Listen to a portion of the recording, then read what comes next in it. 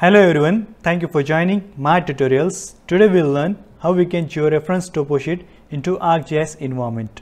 To georeference this, I have a topo sheet, I will drag here. Here is showing me unknown spatial reference. So this image is not georeference. If I'll click OK, if I will show you by zooming, now you can able to see. If I will click here, it should show me 73 degree 30 minutes, but it is showing me below unknown units. So it's not showing me any coordinates here. So means this image is not georeference. This is only scan image. This is only scan raster image. So this I have downloaded from Survey of India website. You can e easily freely download Survey of India topo sheet 1 is to 50,000 scale from Survey of India website. I have already make a video on the topic. You can search it and you can find how to download of India topo sheet. I will also give link in the description back. Um, I will also give link in the description box. You can download from there. Now you can able to see it showing me unknown units. So unknown coordinate system it shows me. So before going to that, I will show you some basic interface of this ArcGIS. So here is the first. If I want to take something new page, I will take new from here. Here is option to take new page. Now here in catalog you can able to see all our data is saved here. So here is a c drive d drive e drive you can able to see. When i will click here now you can able to see your where you have saved your data. So suppose this is my data. I will click here and i will drag this. When i will drag you can able to see unknown spatial reference like this you can add a data into ArcGIS environment. Again you can also add data from here. Add data option is here like plus like icon is here. When you click here from here also you can select your desired image and click on add. Now you can able to see unknown spatial reference. Click ok. The data is added here. Like this we can add data from both way. So now this this image is not georeference we need to georeference it first so what we need to do to georeference it? We have a tool of a georeferencing here. So here is georeferencing tool is here. So if this tool is not available here, you can right click and georeferencing you can select. So it's already selected here. If I'll uncheck this, the tool will remove from here. Again, you can right click and you can click on the georeferencing tool. So here is the georeferencing tool. You click here so it will show again georeferencing tool. So if I'll take this tool here so this georeferencing tool you can able to see a plus like icon is here. Add control point. This control point we need to take and we need to add points here. But first of all that we need to convert this. Degree minute second is here. We need to convert it into degree decimal. So how to convert it there is a formula to convert degree minute second into degree decimal. I will open my excel sheet and I will show you how we can convert it. So suppose if I'll take this 73 degree 13 minutes and second is not given here so I'll take it as a 0 0 so this is my degree minute and second.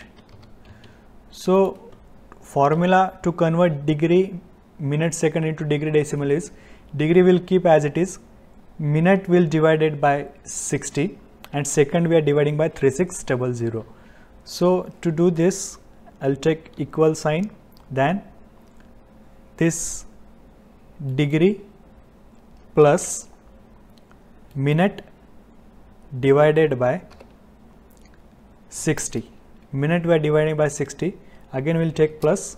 Second we are dividing by 3600 click on ok. So now you can able to see 73 degree 0.5 uh, you can able to see decimal degree unit is here. Again you can convert this uh, longitude also. You can, again you can convert this uh, latitude also.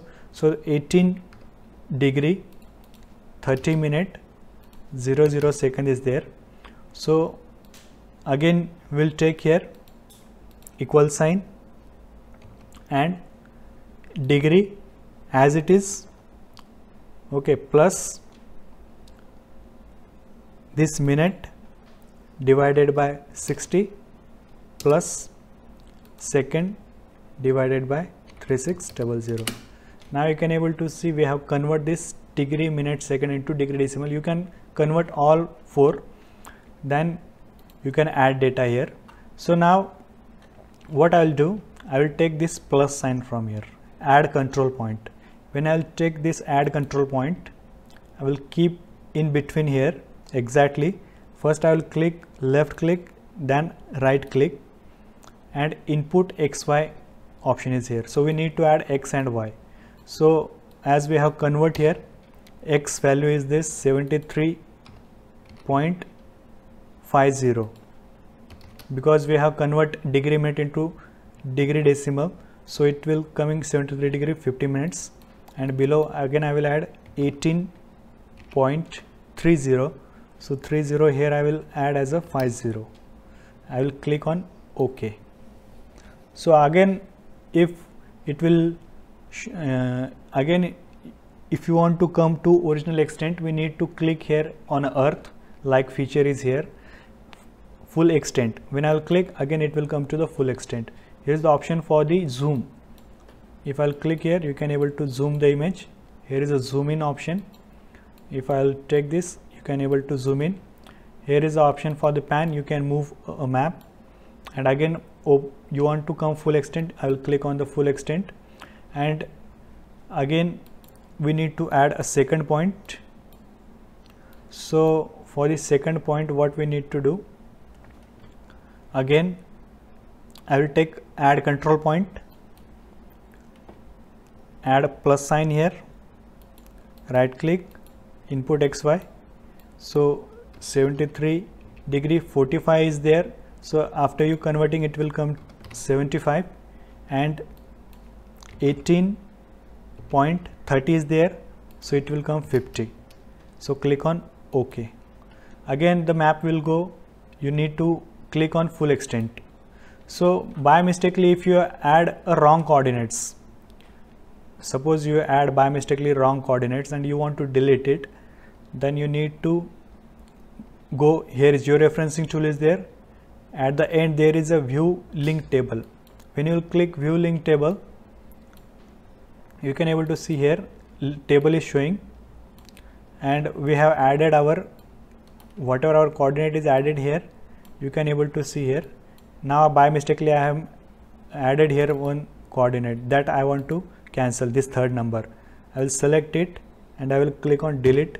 So this point will be delete from here. So this second point you add wrongly if you put wrongly then you select it and click on delete. This will be removed from here. So we have added correctly so I will not delete this. You can check here x and y that you have added correctly or not so after that I will take third point.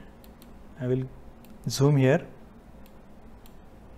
This place I will add as a add control point. Then first left click then right click add xy here I will give 73.45 is there so 75 will come. Then 18.15 is there. So I will take 15 is there so it will come 25 if you will divide degree minute second into degree decimal it will come 18.25 again click on ok. So again click on zoom to full extent and here is a fourth point we need to add. Again I will take add control point. Plus icon is there. First left click then right click. We need to add this fourth coordinate 73.30 is there so 50 will come. 50 then one eight point one five is there. So for the 15 25 will take. After dividing 18 degree 25 it will show and click on ok. So after adding four points what we need to do we need to I will click full extent. Now we have given all these four point. In link table you can able to see all the four coordinates you have given here.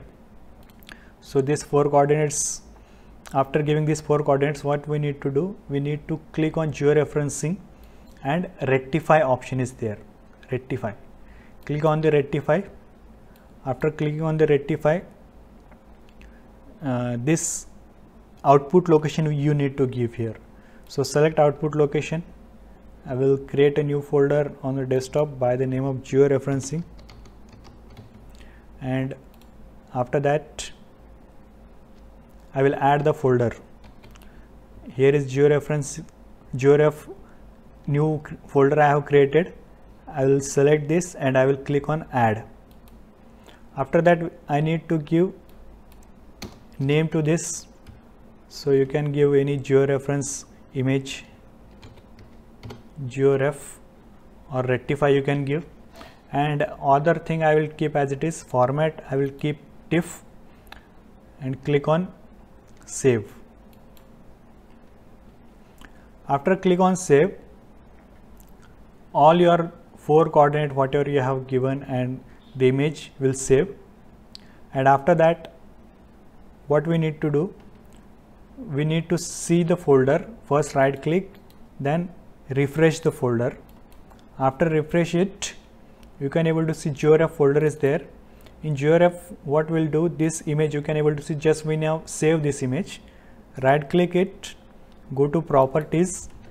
In properties there is an option spatial reference. So spatial reference is undefined. So we need to define it. To define it we need to click on edit then geographical coordinate system. After geographical coordinate system world after world there is a WGS 1984 just click it. Now you can able to see world geodetic system 1984 is a datum that we need to give here. Click on ok. Click on apply and click on ok.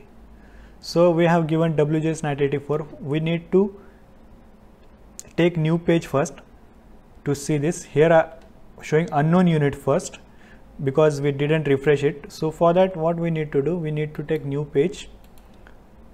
And I will take new. I will save no. And after that again this we just have given a spatial reference it. I will drag here. Now it's not showing me unknown spatial reference. So it shows me that if I'll skip here below there is coordinate showing 73 degree 531 and 18.486 so now our image is georeference. If I'll keep arrow here it is exactly showing me 73 degree 5 minutes or decimal degree you can able to see showing below. So now our image is georeference. So like this we can georeference our image. If in between if I'll keep anywhere arrow I will get a coordinate of that place. So this image is now georeference. You can able to see this image is georeference this image is georeference this is georeference. Previous image when I drag it you, you can able to see this previous image. If I drag it it shows unknown spatial reference.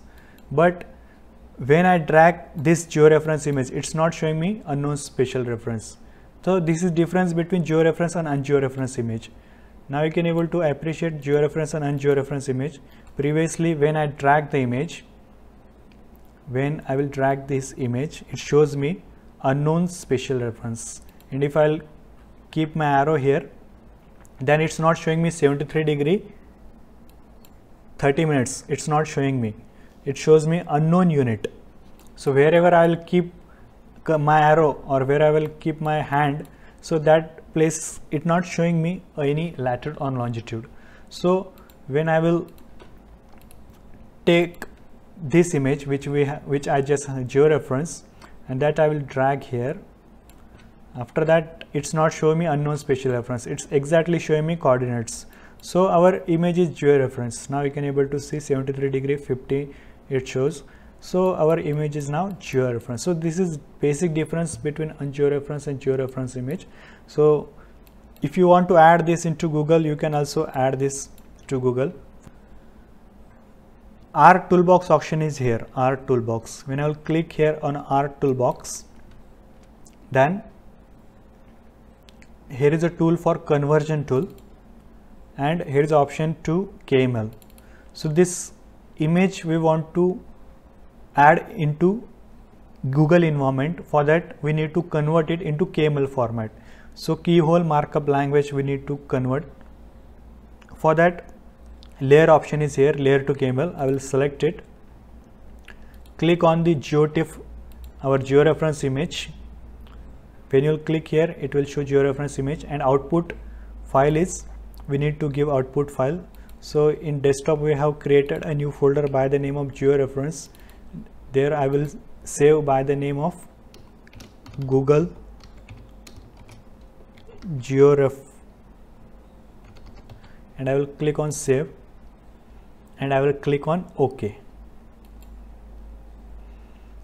So now layer to KML is converted. So our image is converted into KML format. So we'll go to desktop and here you can able to see Google GeoRef image just we have created. I will click here and it will exactly go the same places where we have given a latitude and longitude.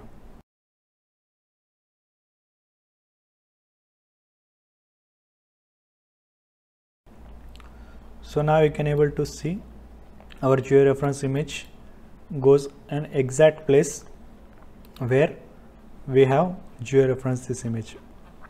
So this geo this resolution is not matching. Why it's not matching? Because this topo sheet is having a uh, very large resolution. That is a 30 40 30 meter resolution and this is 1 meter resolution. So you can able to see but the feature is matching. You can appreciate this. This is a river. You can able to see it's matched correctly. So here you can able to see this feature is matched exact correctly so our image is exactly georeference so like this you can cross check your image georeference or not here also you can able to see water body is matching so like this we can georeference a topo sheet and add into Google environment and Google Earth Pro. So it is very simple to georeference Google Earth image. Uh, it is very simple to georeference topo sheet